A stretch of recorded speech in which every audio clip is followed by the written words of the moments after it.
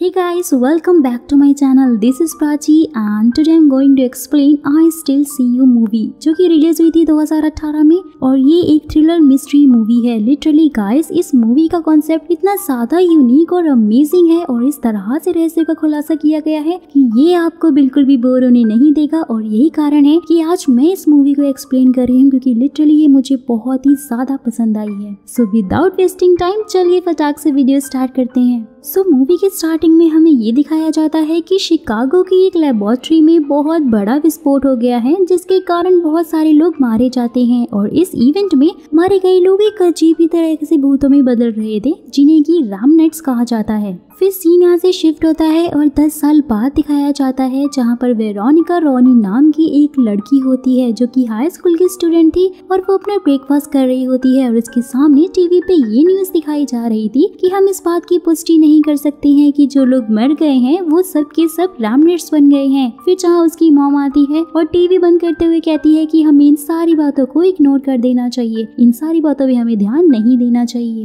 तो रोनी कहती है की आप ऐसे बिहेव कर रही हैं जैसे कि कुछ हुआ ही नहीं है और डैड भी यहाँ पर नहीं है। गाइस तभी हम देख पाते हैं कि वहाँ पर न्यूज़पेपर लेके एक बंदा बैठा हुआ था, जो कि कोई और नहीं, बल्कि रोनी के ही फादर थे और वो गायब हो जाते हैं, जिससे हमें ये पता चलता है कि वो भी एक रामनेट बन चुके हैं, जो कि दोस्तों उसी विस्फोट के बाद से शुरू हुआ था, जिसे कि डॉक्टर स्टैनन लीड कर रहे थे और हालाँकि उस विस्फोट के बाद बिल्डिंग को तो कोई नुकसान नहीं हुआ था, लेकिन उसमें जो भी इंसान थे, वो सब मारे गए थे और सारे के सारे रामनेट बन गए थे और गायब हो गए थे, जहाँ पर ये हादसा हुआ था, उस शहर को तो बंद करा दिया गया था और उसका नाम नो गो जोन रख दिया गया था और वहाँ पे किसी को भी जाना अलाउड नहीं था। वहाँ कोई भी नहीं जा सकता था। फिर सीन यहाँ से शिफ्ट होता है और एक क्लासरूम की तरफ़ दिखाया जाता है, जहाँ पर प्रोफेसर, बिजनर रैमनेट के बारे में सब बच्चों को समझा रहे होते हैं, जहाँ वो ये कह रहे होते हैं कि इसके तीन रूल होते हैं कि ये एक हेलोग्राम या फिर एक वीडियो रिकॉर्डिंग की तरह होता है। दूसरा ये कि ये एक लूप की तरह पे काम करता है, यानी कि दोस्तों, एक काम को ये लोग बार बार दोहराते हैं। और वो काम कुछ भी हो सकता है।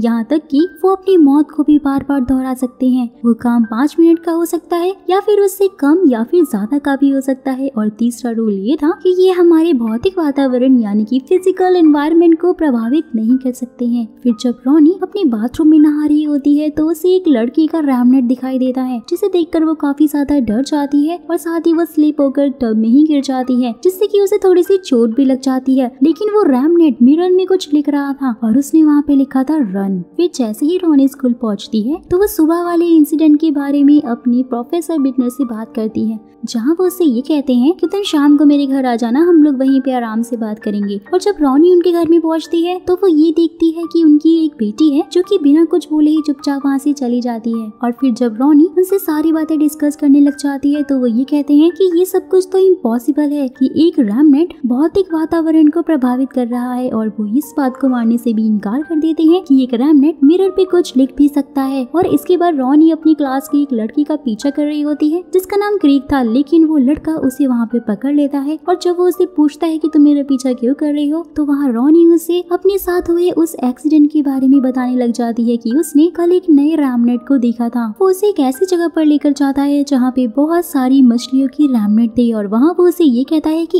एक महीने पहले तो यहाँ पर सिर्फ़ सोलह ही मछलियों के रैमनेट थे, लेकिन दिन ब दिन उन सब में बढ़ोतरी हो रही थी और उसके बाद जब रोनी उसे एक रामनेट के बारे में पता लगाने के लिए कहती है और उसे हेल्प मांगती है तो वो मना कर देता है। लेकिन जब वो ये कहती है कि मुझे ऐसा लगता है कि वो मुझे नुकसान पहुंचाना चाहता है तो इस बात पे क्रीक उसकी हेल्प करने के लिए रेडी हो जाता है। रोनी बताती है कि उसका नाम रियान है। फिर जब क्रीक उससे पूछता है कि तुम्हें कैसे उसका नाम पता तो वो कहती है कि मुझे नहीं पता, मुझे बस ऐसा एहसास हुआ था। सो अब उस बंदे का पता लगाने के लिए और उसे गूगल पे सर्च करने के लिए उन्हें उसकी फ़ोटो चाहिए थी, जहाँ क्रीक उससे कहता है कि हमें फोटोग्राफी कैमरा चाहिए, लेकिन वो काफ़ी महँगा आता है। तो रोनी उसे बताती है कि उसका एक दोस्त है जो कि लैब में काम करता है और उसके बाद वो दोनों सारी चीज़ें इकट्ठा करके रोनी के घर जाते हैं। लेकिन इस बार जब वो लोग उस लड़के के आने के बाद उसकी फ़ोटो ले रहे होते हैं तो वो पूरी तरह से बदलने लग जाता है और उसका फेस जलने लग जाता है, जो की काफ़ी ज़्यादा डरावना था। नेक्स्ट डे क्रीक उसे ये बताता है की तुम सही थी, वो एक कातिल है और उसने चार साल पहले एक पादरी की बेटी को अगवा कर लिया था और उसने उसे मार दिया था, जिसका नाम नाम मैरी ग्रीक था। फिर उसके बाद वो लोग मैरी ग्रीक की फैमिली से मिलने के लिए वहाँ पे निकल जाते हैं, जहाँ पहुँचने पे वो उसकी मॉम से मिलते हैं और वो उन्हें बताती है कि उस लड़के ने उनकी बेटी को किडनैप कर लिया था और वो उसे एक होटल में ले गया था, जहाँ उसने उसे बहुत ज़्यादा टॉर्चर किया और बुरी तरह से उसका खून कर दिया था। सच जाने के बाद वो लोग काफ़ी ज़्यादा परेशान हो जाते हैं और जब वो लोग घर आते हैं तो उन्हें ये पता चलता है की जिस दिन वो लड़की किडनैप हुई थी, उस दिन उसका बर्थडे था और वो एक लीप ईयर था, यानी कि 29 फरवरी था, जहाँ रोनी कहती है कि उसका बर्थडे भी उसी दिन होता है और इसी दौरान रोनी एक नोटबुक पे बहुत ही बुरी तरह से लिख रही थी रन। जब क्रीक इन सब चीज़ों के बारे में पूछता है तो वो कहती है कि वो नहीं जानती उसने जान कर ऐसा कुछ भी नहीं लिखा। फिर उसके नेक्स्ट डे ही प्रिंसिपल क्रीक से बात करते हैं, वो उससे पूछते हैं, क्या तुम एक पादरी के घर गए थे और तुमने उनकी बेटे की मौत के बारे में पूछताछ की थी? जहाँ वो उन्हें समझाने की कोशिश करता है कि ये हमारा एक प्रोजेक्ट है और वो उन्हें रोनी के बारे में भी सब कुछ बता देता है। और फिर इसके बाद हमें स्कूल गेम का सीन दिखाया जाता है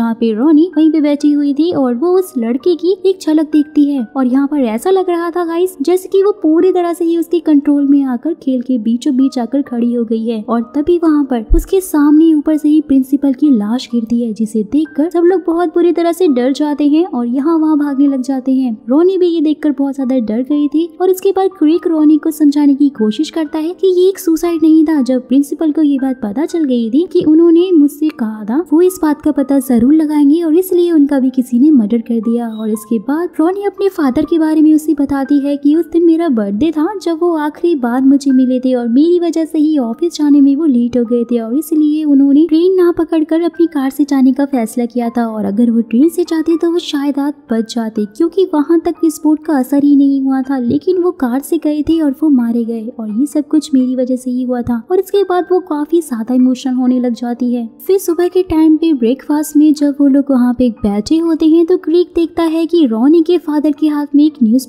था, और वो दस साल पुराना नहीं था, वो सिर्फ़ आठ साल पुराना था, और उस पर दो लड़कियों के मर्डर की न्यूज़ भी छपी हुई थी, जिनका बर्थडे लीप ईयर में ही होता है, और जहाँ वो जल्दी से उन दोनों लड़कियों का नाम नोट कर लेता है और कहता है की तुमने कहा था की तुम्हारे फादर की डेथ दस साल पहले हुई थी तो ये कैसे पॉसिबल हो सकता है की वो आठ साल पहले पुराना न्यूज़पेपर पढ़ रहे हैं? इसका का सीधा सीधा मतलब ये था की उसके डैड उन्हें आगाह करना चाह रहे थे, और जैसे ही वो लोग इस बारे में पता करते हैं तो उन्हें ये पता चलता है कि उनमें से एक की पूरी फैमिली खत्म हो चुकी थी, जबकि दूसरी लड़की की एक बहन थी और वो उससे मिलने के लिए उसके पास निकल जाते हैं। और जब वो वहाँ पहुँचते हैं तो उसकी बहन उन्हें बताती है कि वो एक लड़के के साथ डेट कर रही थी और उसके बाद वो उसी के साथ शिकागो चली गई थी। साथ ही अगर तुम लोग जानना चाहती हो कि मेरी बहन की मौत कैसे हुई थी तो तुम लोग जान सकते हो। तुम्हें बस नोगुल जोन में जाना पड़ेगा और उसके बाद वो लोग नोगुल जोन की तरफ़ निकल पड़ते हैं। वहाँ पहुँच वो दोनों ये देखते हैं की पूरा शिकागो शहर रैमनेट से भरा हुआ था क्योंकि वो लोग नो गो जोन के बहुत ही करीब थे और इसलिए वो अपने जीवन का एक पल नहीं जी रहे थे। वो हर हफ़्ते, हर साल और कोई कोई तो पूरा जीवन ही जी रहे थे और इसके बाद वो उसी लेबोरेटरी में पहुँच जाते हैं, जहाँ पर विस्फोट हुआ था। वहाँ पहुँच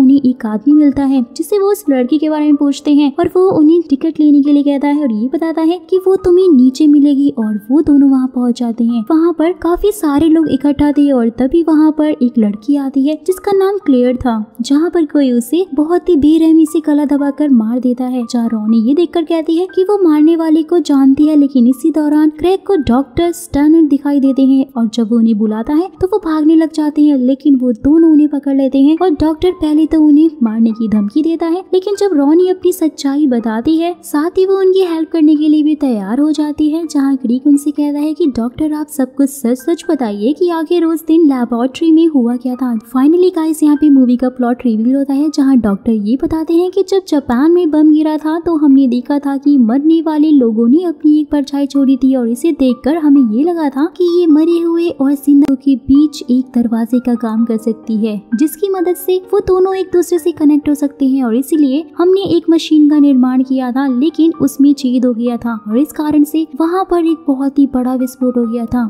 जब रॉनी ब्रायन के बारे में पूछती है तो वो ये बताते हैं कि हाँ मेरा एक असिस्टेंट हुआ करता था, वो बहुत ही प्रभावशाली था। और विस्फोट के बाद मैं उससे भी मिला था, जहाँ विस्फोट का उस पर भी काफ़ी गहरा असर पड़ा था और उसका दिमाग अपने ठिकाने पे नहीं था और उसने उसी को मार दिया था, जिससे कि वो सबसे ज़्यादा प्यार करता था और उसके बाद वो उसे ज़िंदा करने के लिए उन लोगों को मारता है, जिनका बर्थडे उसी दिन पर होता है, जिस दिन क्लेयर का होता था। एंड गाइस यहाँ पर सबसे बड़े झूठ से भी पर्दाफाश हो जाता है जब रोनी डॉक्टर से पूछती है कि रैमनेट किसी को कैसे मार सकते हैं तो डॉक्टर उन्हें बताते हैं कि जो नियम तुम्हें बताए गए हैं, वो सिर्फ़ बच्चों की कहानियों की तरह ही है। वो सारे के सारे झूठे हैं, जबकि रैमनेट तो किसी को कहीं पर भी मार सकते हैं। और ये कहते ही डॉक्टर खुद को शूट कर लेते हैं। फिर जब वो लोग स्कूल पहुँचते हैं तो कुछ लोग क्रीक का लॉकर खोलते हैं, जिसमें से उन्हें गन मिलती है। और वो क्रीक को अरेस्ट करके अपने साथ में ले जाते हैं। जबकि वो गन उसकी नहीं थी, और वो बार बार कह रहा था की वो उसके बारे में कुछ भी नहीं जानता। लेकिन वो लोग उस पर भरोसा ही नहीं करते हैं, और उसे अपने साथ में ले जाते हैं। जहाँ रोनी ये सब कुछ देख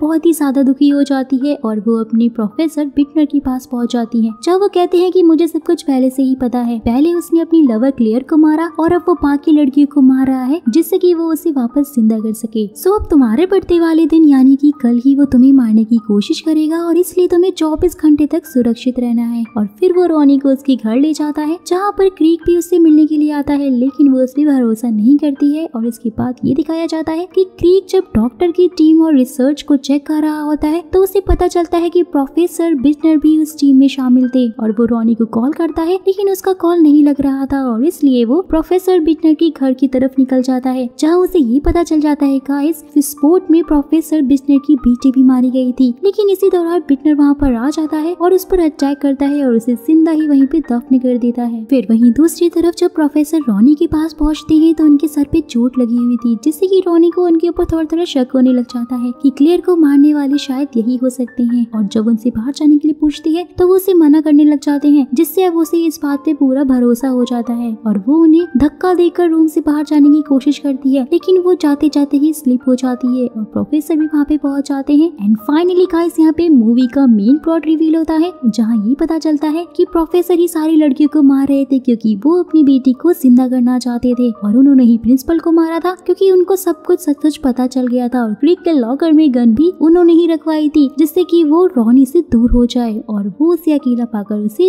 आसानी से मार सके। फिर जहाँ प्रोफेसर रोनी को बोलते हैं कि तुम अंदाज़ा भी नहीं लगा सकती कि किसी अपने को बार बार मरते हुए देखना कैसा लगता है। फिर सब कुछ सच जानने के बाद रोनी वहाँ से भागने की बहुत कोशिश करती है और एक रिवर के पास पहुँच जाती है, जिसके ऊपर बहुत ही सारी बर्फ़ जमी हुई थी और उसी वक्त वहाँ पर प्रोफेसर भी आ जाते हैं जो की उसे पकड़ लेते हैं। लेकिन रोनी अपने पैरों से बर्फ़ को तोड़ देती है और प्रोफेसर के साथ में बर्फ़ के अंदर चली जाती है। फिर जहाँ प्रोफेसर पानी के अंदर ही गला दबाकर उसे मारने की कोशिश करने लग जाता है, लेकिन तभी रोनी को ब्रायन दिखाई देता है, जो कि उसको बाहर निकालने की कोशिश कर रहा था और क्लियर भी आकर प्रोफेसर को नीचे की तरफ़ खींचने लग जाती है, जिससे कि रोनी बच जाती है और वो ऊपर आ जाती है। लेकिन पानी इतना ज़्यादा ठंडा था कि उसकी बॉडी पूरी तरह से फ्रीज हो चुकी थी और वो बाहर नहीं निकल पा रही थी कि तभी क्रीक वहाँ पर आता है और उसे पानी से बाहर निकाल लेता है। सो दोस्तों, अब आप ये सोच रहे होंगे कि आखिर क्रीक उस कब्र से बाहर कैसे आया था? तो हुआ ये था, जब वो कब्र के अंदर था तो उसको उसके फादर के रामनेट ने बाहर निकाला था। और जब रोनी भी बेहोश हुई थी तो उसके भी फादर का रामनेट वहाँ पर आया था, जो कि